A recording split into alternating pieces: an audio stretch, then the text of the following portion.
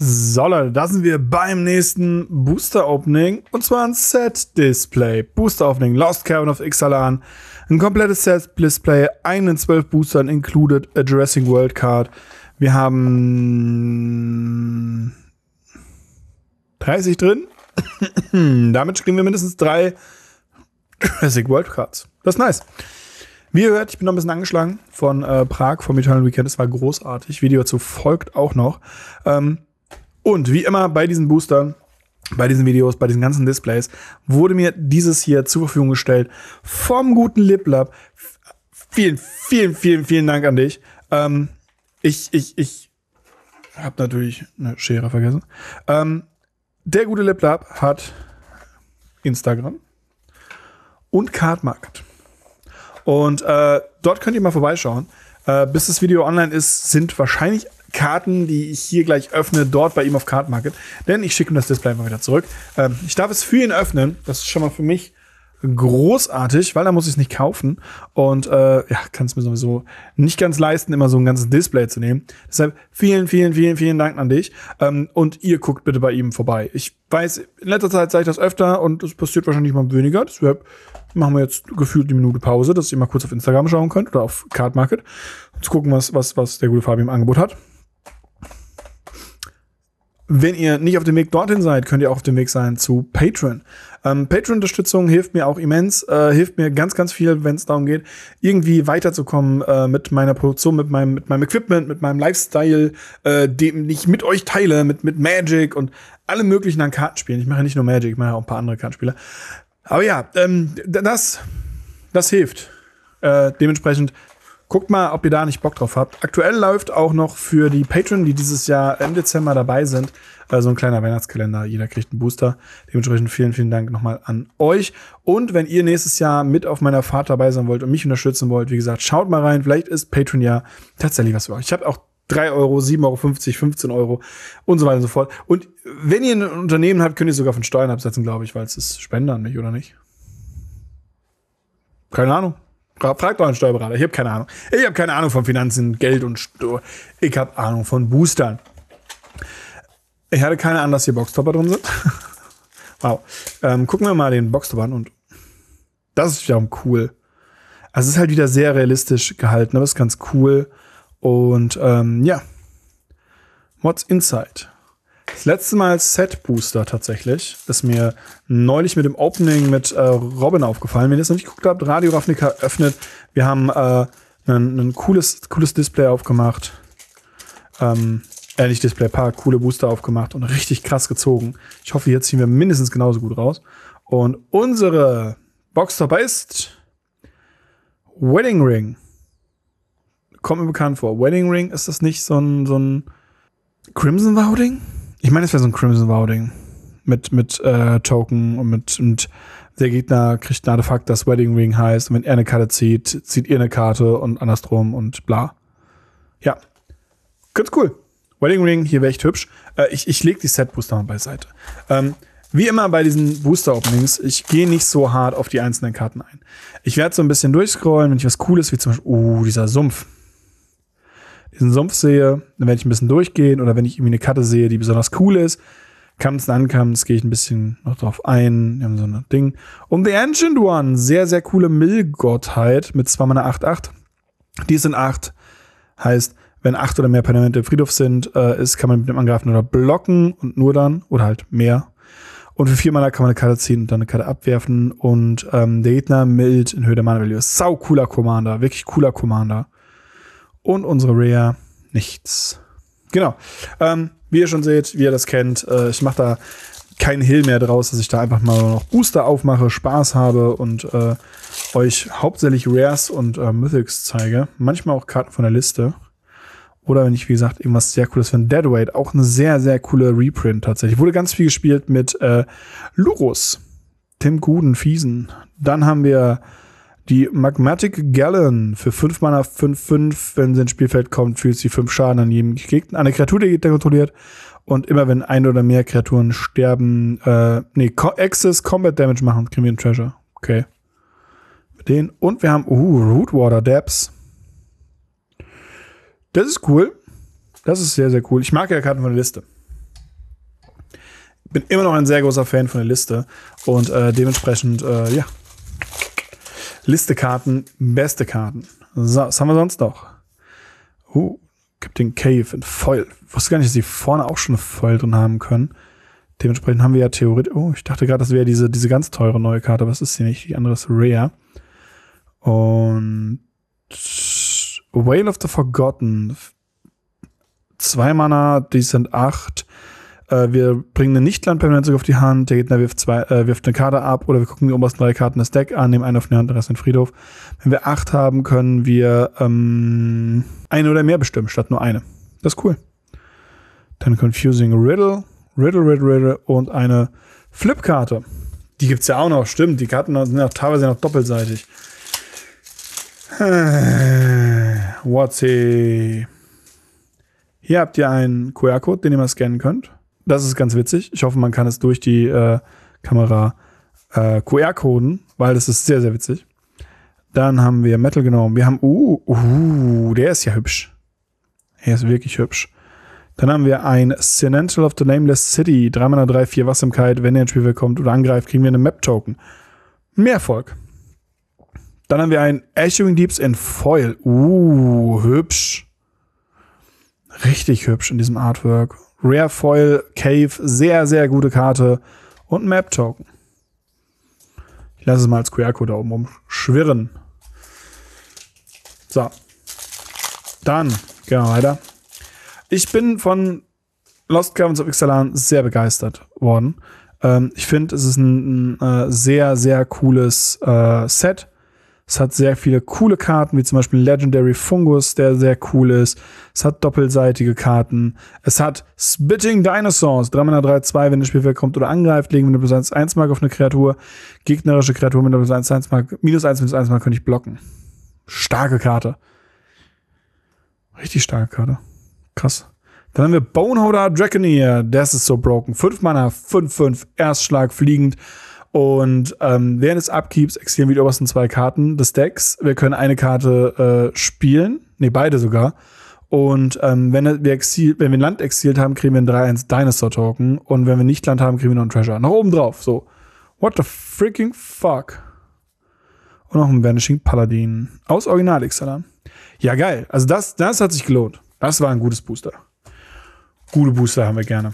Ähm, ja, ich muss sagen, ich freue mich auf die Playbooster. Bin gespannt, was wir da haben. Ähm, discover the coolest cards. Visit Lost Currents Ixalan.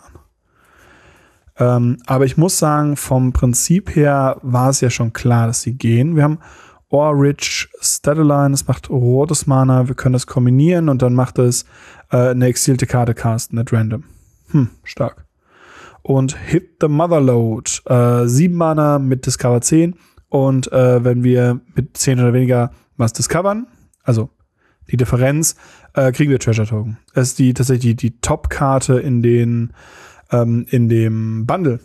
Die kriegt ihr auf jeden Fall in dem Bundle in einem Special Artwork. Dementsprechend, äh, ja, könnt ihr da auch mal reinschauen. Äh, Bundle habe ich auch aufgemacht. Bundle habe ich auch aufgemacht. Bundle habe ich auch vom guten Liblab aufgemacht. Video sollte da oben irgendwo auftauchen. Dann haben wir einen Depths, Ganz cool. Ein paar Dinosaurs. Dinosaurs! Großartig. Fledermäuse. Fledermäuse! Sehr gut. Twist Turns. Oh, ich dachte gerade, wir hatten das dieses teure Artefakt. Ähm, aber mit dem kann man äh, das transformieren zu einem Land. Und man macht x Mana, wo x die Anzahl an Planeten in allen Friedhöfen sind. Und wie gesagt, ähm, The Great Door kann man transformieren. Ganz cool. Und wir haben eine Rare Mythic Foil. 4 Mana, 4-3 fliegend, äh, immer wenn Instant oder Sorcery und Hand spielen, kriegt Rebound. Und wenn er stirbt, bringen wir ihn getappt, äh, andersrum ins Spiel zurück. Ähm, tappen, wir removen einen Zeitcounter von dem und kriegen dann blaues Mana. Und für 3 Mana transportieren wir dem, legen einen Zeitcounter drauf. Geil. Geil. Und ein, oh, Junge. Pouncing Jaguar. Das war ein geiles Booster. Davon hätte ich gerne mehr. Also generell ist ähm, in Lost of Ixalan nicht der krasseste Shit an äh, Value drin. Aber es sind ein paar Karten, die echt Value haben. Die Götter sind ganz cool. Und ähm, es gibt halt so hier geiler Commander und richtig coole Sachen. Und äh, sogar Full Arts. Krass. Uh, uh, der ist stark. Terrence Soul Cleaver hat kaum einen auf dem Schirm, werde ich noch äh, vom guten Liblab kaufen. Ähm, den, den werdet ihr nicht online sehen. Ein Mana-Artefakt, equipte Kreatur hat Wachsamkeit und wenn eine andere Artefakt oder Kreatur von irgendwer auf den Friedhof gelegt wird, kriegt die Kreatur eine plus 1 1 Marke. Richtig brokenes Teil. Richtig brokenes Teil. Das in Affinity oder mit Ojutai oder sonst was. Richtig brokenes Teil. Absolut brokene Karte. Ich leg mir die raus. Oh mein Gott, die will ich haben. Da. Wahnsinn. So, weiter geht's. Bisher haben wir nicht so viele von diesen Full-Art-Ländern am Anfang gesehen, was ich sehr schade finde, weil die finde ich richtig hübsch. Man kriegt halt irgendwie immer nur diese Common. Oh, uh, Braid ist hier drin. Ähm, ja, der El Presidento, Bitter Triumph, auch eine sehr gute Karte.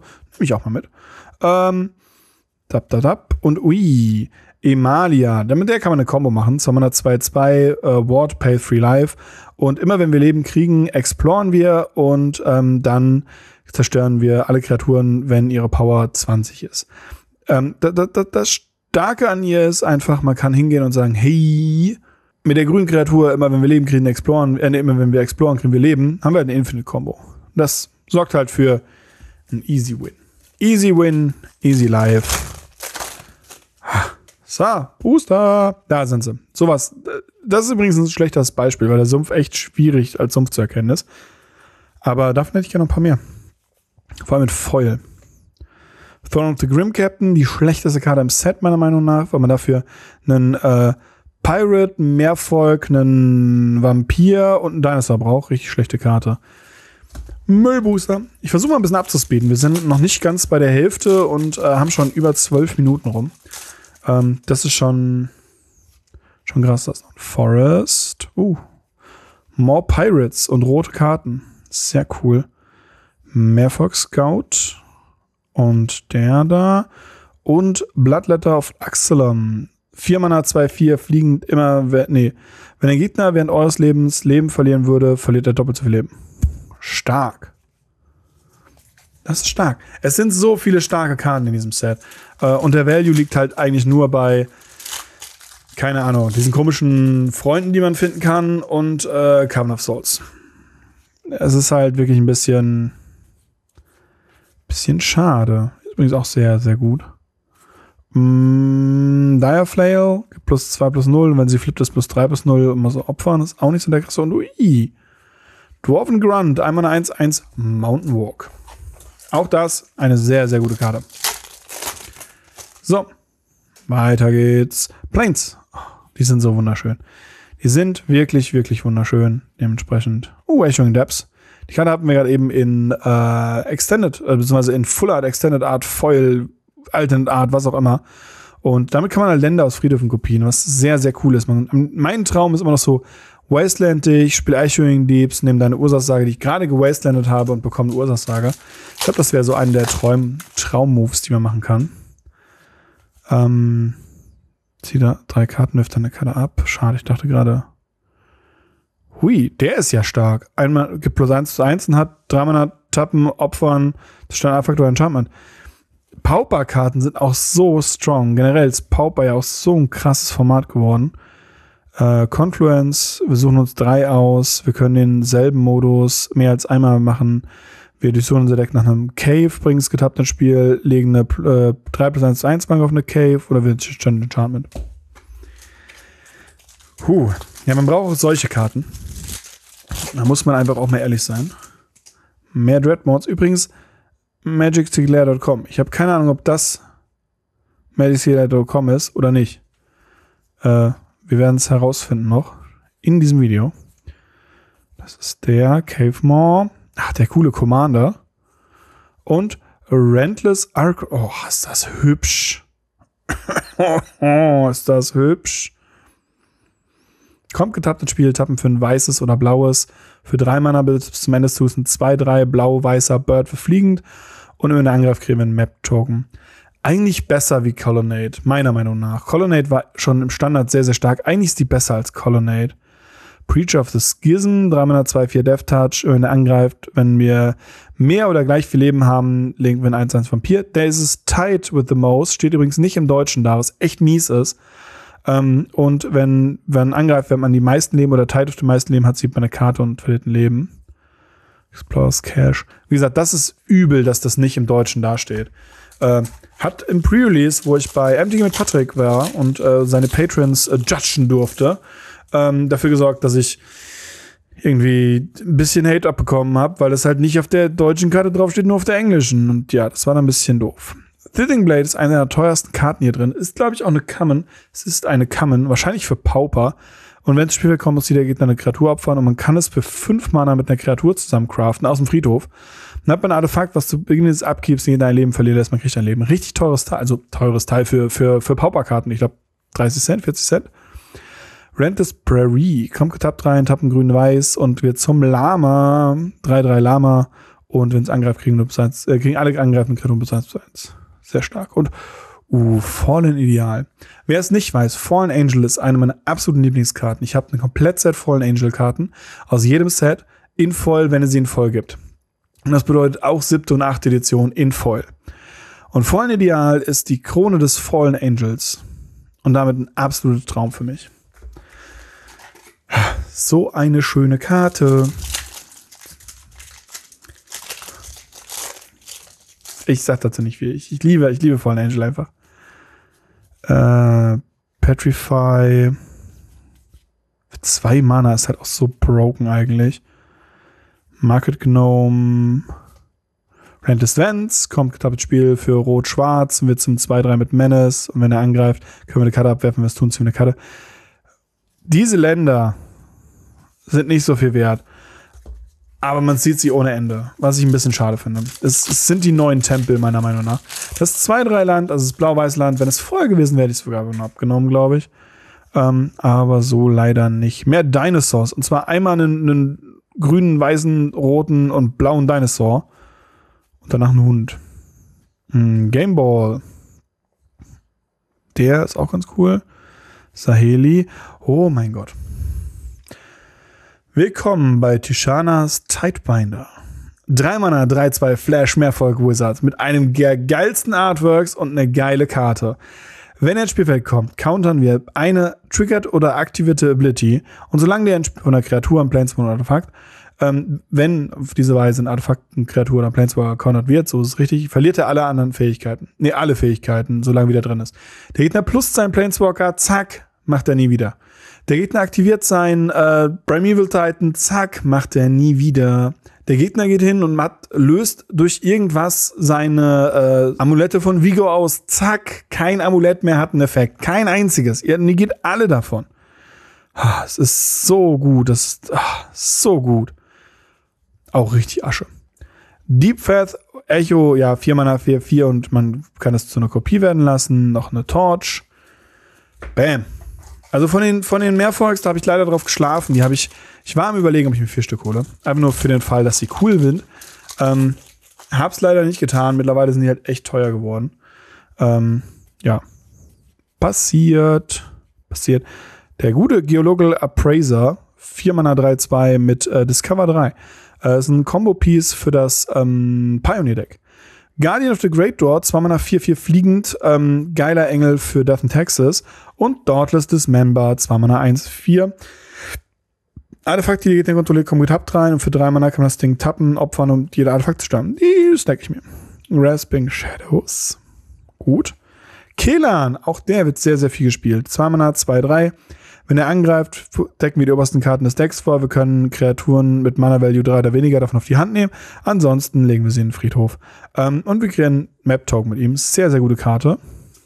Wirklich gute Karte. Auch im Humans, äh, im Grün-Weiß Humans, Fork, Four Color Humans. Äh, man hat kaum Humans, die mehr als 3 Mana kosten. Eigentlich keine. Und äh, ja, richtig gut. Oh, wir haben immer noch. Krass, es gibt immer noch Minigames.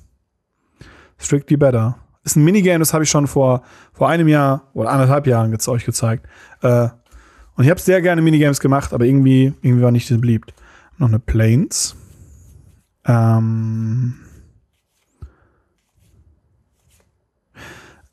Abuelo. Das heißt übrigens äh, äh, Opa anscheinend. Abuela ist die Oma. Ancestral Echo wurde mir beigebracht, ich habe keine Ahnung. 3 Mana 2-2 fliegend Ward, für 3 Mana exilieren wir eine andere Kreatur und Artefakt und bringen sie wieder ins Spiel. Sehr coole Karte. Puh, so langsam wäre noch mal eine Dinosaur-Karte drin, oder? Oder ein Hitter. Wir sind bei einem Drittel der Box. Bei 20 Minuten. Das, äh, ja, ich, ich bin nicht der Schnellste. Ähm, mehr Dinosaurs, schon wieder diese Dinosaurs. Aber das wisst ihr ja, dass ich da nicht der Schnellste bin, wenn es um ganze Display geht. Der ist, glaube ich, die, die, die Promo für das Ding. Abuelos Awakening. 4 Mana und X. Wir bringen X, Artefakt oder Aura ins Spiel, wobei X. Nee. Wir bringen eine zurück und legen dann X plus 1, 1 mal auf eine Kreatur. Hm. Und uh, wir haben noch eine Rare Foil. 3 Mana 1, 5 zu Beginn jedes äh, Endsteps äh, muss der Gegner ein Artefakt. Wenn ein Artefakt ins Spiel gekommen ist, können wir über zwei Karten angucken, können einen davon auf die Hand nehmen, der Rest geht runter. Human Advisor. Leider kein Pirate. First Among Equals. Sehr cool. Und hui, hui, hui, hui, hui, hui, hui. Rare, voll rare und eine gute Karte tatsächlich. Wird sehr, sehr viel gespielt in jeder Art von Enchantment-Decks äh, als Commander. 3 Mana 1, äh, 2 Mana 1, 2 Legendary Enchantment Creature Nymphe. Und immer wenn ein Artefakt, äh, ein Enchantment casten, kriegen wir lebensziehende Karte. Sehr guter Commander. Wirklich guter Commander. Und äh, ja. Kann ich empfehlen. Das habe ich schon gegen gespielt, ist sehr stark. Cave. Mountain, hier. Geiles Teil. Hier sehen wir Mountain mit Dinosaurs und auf der Rückseite hatten wir einen, äh, einen äh, Vulkanausbruch und der T-Rex. Junge, richtig geil. Richtig geile Mann. Und vor allem hier noch mit dem, mit dem, mit dem, mit dem Trumpeting Carn, Car Carnosaurus. Mit 6 Mana 7-6, wenn der Spiel kommt, Discover 5. Das ist diese Kombo-Karte. Krass. Alles, was wir wollen, bekommen in einem Booster. Ich leg den auch mal wieder hin. Ich guck mal nach, was der kostet. Vielleicht nehme ich den. Vielleicht, vielleicht nehme ich den. Einfach nur zum, zum, zum Haben und haben es besser als brauchen wir wollen. Hurl into History. Earthshaker Dreadmore, 6 Mana 6, 6, Trampel, wenn das Spiel bekommt, ziehen eine Karte für jeden Dinosaurier. Ja, Dreadmore. Uh, Gishar, Suns Avatar in einem alten Artwork. Sehr hübsch. Wirklich hübsch. Ähm, 8 Mana, 7, 6 flie äh, fliegend. Wachsamkeit, Trampel, Eile, kein fliegend.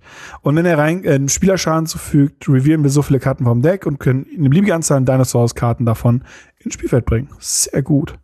Und Kutzels Flanker, auch nicht so eine günstige Karte. 3 Mana 3-1 Flash, wenn er ins Spielfeld kommt, legen wir eine plus 1 1 Mark auf jede Kreatur, nee, für jede Kreatur, die das Spiel verlassen hat. Wir scryen 2 und kriegen 2 Leben. Oder wir exilen einen Friedhof von einem Spieler. Das ist gut. Das war, das war auch wieder ein gutes Booster. Set Booster, ich sag's immer wieder, Set Booster lohnen sich ohne Ende. Set Booster sind großartig. Planes, Swishing Whip. Discover 10, krass. Stay Crew, äh, Staunch Crewmate. Der Dinosaur, Abuelo, den hatten wir schon. Kiteseal, Dramna 2-3 Human, spannend. Äh, Fliegend Ward 1, wenn er ins Spielfeld kommt, äh, dürfen wir von jedem Gegner eine, An ein Artefakt oder eine Kreatur wählen und solange der ins Spielfeld kommt, kann das permanent, ist das permanent ein Artefakt mit Tappen äh, man macht mal die Farbe und man lost alle Abilities. Und ein Kutzel in voll. Ah, don't get me tempted. 3 Mana 3-3, Gegner können in eurem Zug keine Karten mehr casten und immer wenn ein oder mehr Kreaturen mit größerer Stau Stärke, in ihrer Base Power angreifen, tief in die Karte ziehen. Ah, ah, das ist so gut. Uh, das ist so gut. Ah. Das ist eine gute Karte, das ist eine wirklich gute Karte. Und Wall of Omens, ein sehr cooler Blinkeffekt für den Abuelo, wenn ihr zum Beispiel einen Commander spielen wollt. Puh. Sechs Booster noch. Gucken, ob ich das hinkriege. Und hier haben wir eine Unterschrift. Das ist unsere erste Unterschrift tatsächlich. Das heißt, die haben es ein bisschen seltener wieder gemacht, habe ich zumindest das Gefühl. Ähm, was ich gut finde, weil die Unterschriften waren, teilweise habe ich die auch verkauft. Teilweise wollten Leute diese kaufen und sammeln.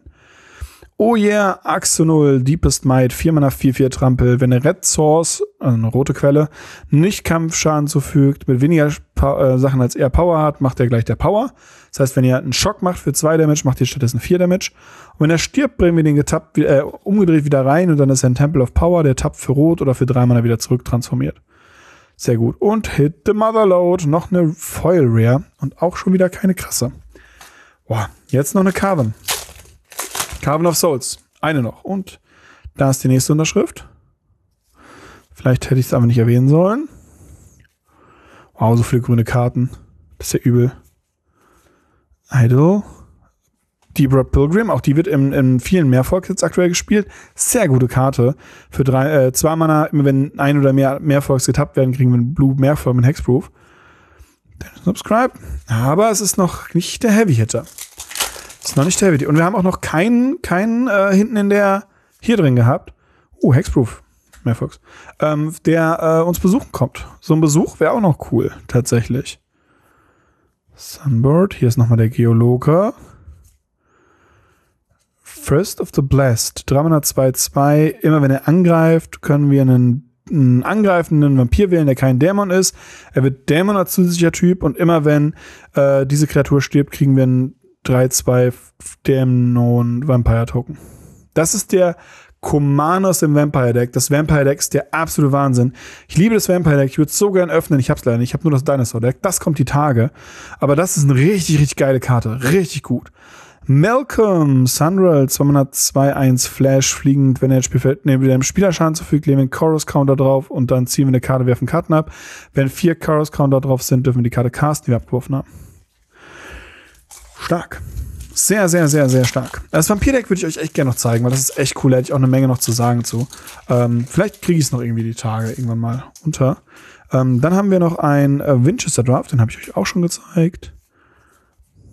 Scout. Oh, komm schon. Charter Course. Abstraction.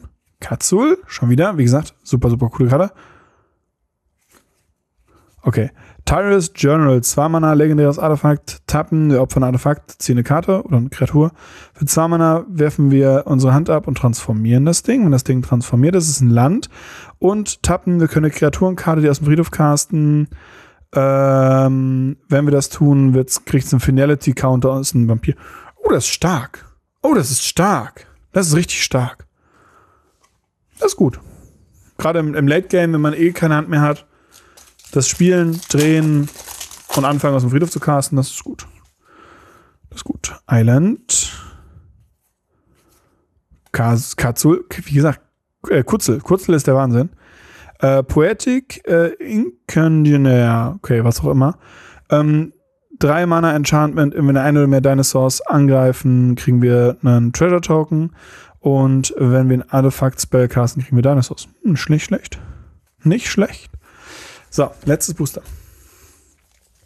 Carven of Souls. Komm schon. Komm schon, komm schon, komm schon, komm schon, komm schon, komm schon. Ich hab so Bock auf den Carven of Souls. Ich hab so Bock auf den Carven of Souls. Island out of Air. Greedy Freebooter ist übrigens eine lustige Karte. Guardian for Great. Noch ein Dauntless Dismantler, nehme ich auch mit. Ping Hand. Ah, Braided Nest. Äh, Braided Net. Drei Mana.